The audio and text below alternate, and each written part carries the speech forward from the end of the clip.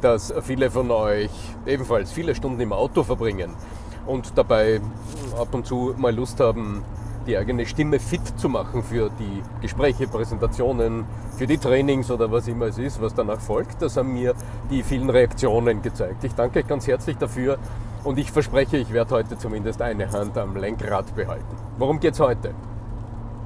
Wir haben uns das letzte Mal mit der Frage beschäftigt, was macht die Stimme klar und voll, was gibt der Stimme mm, einen guten Standpunkt und haben festgestellt, die Mitte soll bewegt sein und die Wirbelsäule aufgerichtet. Heute lasst uns doch mal schauen, wie wärmt ihr denn die Stimmlippen, also eigentlich den Stimmgenerator im Kehlkopf, am besten während des Autofahrens auf.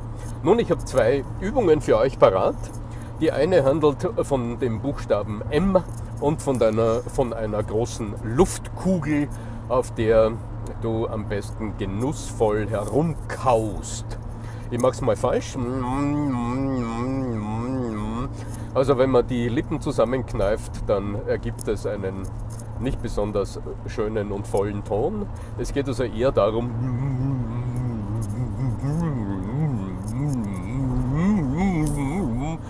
die Wangen so richtig aufzuplustern, dass die Lippen die Luft kaum halten können.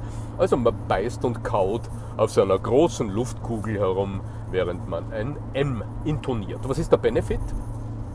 Nun, das macht äh, die Muskeln im Kehlkopf weit, das sogenannte Ansatzrohr, also der Bereich der, naja, des eigentlichen Stimminstruments des Menschen, der für Volumen und für einen breiten, satten Ton zuständig ist, der wird geweitet, der Zungengrund äh, senkt sich und die Stimmlippen werden gelockert. So, und hier knüpfe ich gleich mit einer zweiten Übung an, die mir heute ganz gut passt. Ihr hört es sicher, ich bin streng verkühlt, habe aber jetzt ein Coaching mit einem sehr wichtigen Kunden, also will ich stimmlich doch fit sein und will, dass meine Stimme gut klingt und mm, nicht, nicht eng wird, also dass meine, meine, meine Stimme nicht äh, der Verkühlung zum Opfer fällt.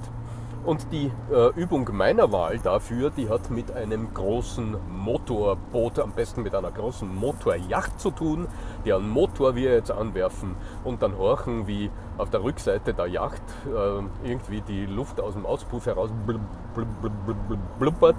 Und schon haben wir auch das Wort ähm, definiert, um das es dabei geht. Das heißt, blub und wieder kann man es falsch machen, blub, blub, blub, blub, blub, blub, blub.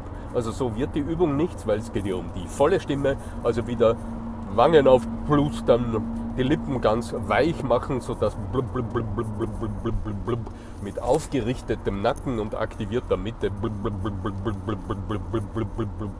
dann sogar so kleine Bläschen, wahrscheinlich Spuckebläschen auf den Lippen auftauchen. Das ist ein gutes Zeichen dafür zweite Buchstabenkombination, also blub, blub, blub wäre die eine, blub, blub und dump, dump, dump, dump, dump wäre die zweite. Dump, dump, dump, dump, dump, dump, dump, dump, Mit diesen hoffnungsvollen Geräuschen, wenn ich an Motorjacht denke, denke ich an Sonne, Sommer, Meer, während es hier draußen regnet und wahrscheinlich sonst wo schon schneit.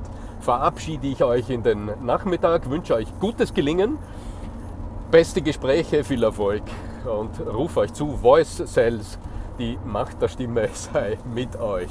Euer Arno Fischbacher.